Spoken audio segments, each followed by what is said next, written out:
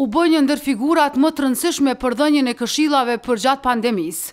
E që nga e hëna, mikrobiologut Lul Raka edhe zyrtarisht iu ngarkua kjo përgjegjësi.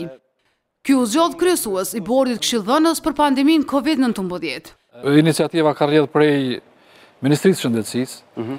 në mënyrë që prapa çdo vendimi që e merr ministri me ekipin e vet, të ketë vendime të cilat do të merren edhe të cilat do të bazohen në dëshmi shkencore. Kjo trup këshillëdhënëse e përbër prej njëmbëdhjetë anëtarëve të tjerë, do të punojë në baza vullnetare, derisa do të bashkëpunojë edhe me ekspertë të huaj.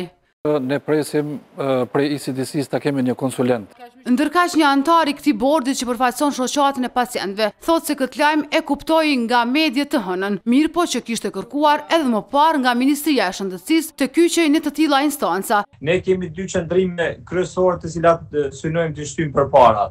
Nën një është shkarkimi i Institutit Kombëtar të Shëndetësisë Publike nga përgjegjësia aktuale që e ka, ku Çdo gjë është koncentrua atje dhe shpërndarja e disa prej përgjegjësive në degët e tij rajonale edhe nën dy themelimi i shërbimit profesional për sëmundje infektive. Këta besojnë që këshillat e tyre do të merren parasysh, përkundër që është edhe një komitet për menaxhimin e pandemisë në kuadër të MSH-së dhe një tjetër në kuadër të shërbimit spitalor.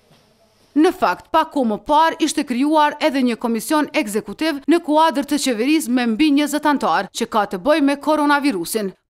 Por nga kabineti i kryeministrit Hoti bëjnë me dije që puna e këtyre dy grupeve nuk mund të bjerë ndesh. Ministri ka pasë nevojë që të ketë në baza ditore një bord këshilldhënës i cili do t'i ndihmojë atij për gjetjen e formave të të tejkalimit përballjes me me sëmundjen COVID-19. Berisha qartësoi se në kuadër të këtij komisioni janë bërë disa grupe punuese, të cilët ofrojnë rekomandime. Rekomandimet shkencore që i bahen qeverisë, udhërrëfyesit të cilët i dërgohen asaj në formë rekomandimi, e të cilat pastaj duhet të kalojnë normalisht filtrat ligjorë.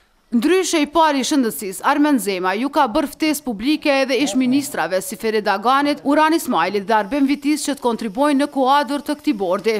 Derisa, asnjëri prej tyre nuk iu kanë përgjigjur pyetjeve të televizionit se a do t'iu përgjigjen ftesës.